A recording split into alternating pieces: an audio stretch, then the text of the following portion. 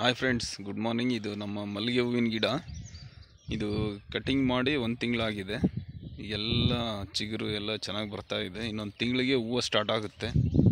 ನೂರು ಗಿಡ ಇದೆ. ಕನಿಷ್ಠ ಅಂದರೂ ನಾಲ್ಕರಿಂದ ಐದು ಲಕ್ಷ ಆಗುತ್ತೆ. ಬಟ್ ಲೇಬರ್ ಕಾಸ್ಟ್ ತುಂಬ ಜಾಸ್ತಿ ಇರೋದ್ರಿಂದ ಖರ್ಚು ಜಾಸ್ತಿ ಇದೆ. ಕನಿಷ್ಠ ಒಂದು ಮೂರು, ಮೂರುವರೆ ಲಕ್ಷ ಖರ್ಚು ಹೋಗುತ್ತೆ. ನಮಗೆ ಆರು ತಿಂಗಳಲ್ಲಿ ಒಂದು ಒಂದು, ಒಂದೂವರೆ ಲಕ್ಷ ಪ್ರಾಫಿಟ್ ಬರುತ್ತೆ. ಹಂಡ್ರೆಡ್ ಪ್ಲ್ಯಾಂಟ್ಸ್ ಇದೆ ಟೋಟಲ್ ಆಗಿ.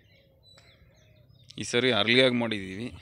ಏಕೆಂದರೆ ಯುಗಾದಿ ಹಬ್ಬಕ್ಕೆ ಹೂವು ಸ್ಟಾರ್ಟ್ ಆಗಬೇಕಿದು. ಚೆನ್ನಾಗಿ ಬಂದಿದೆ.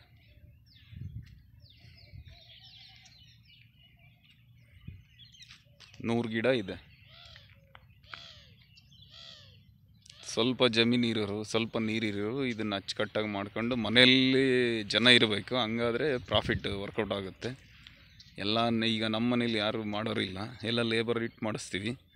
ಖರ್ಚು ಜಾಸ್ತಿ ಬರುತ್ತೆ. ನೂರು ಗಿಡ ಇದೆ.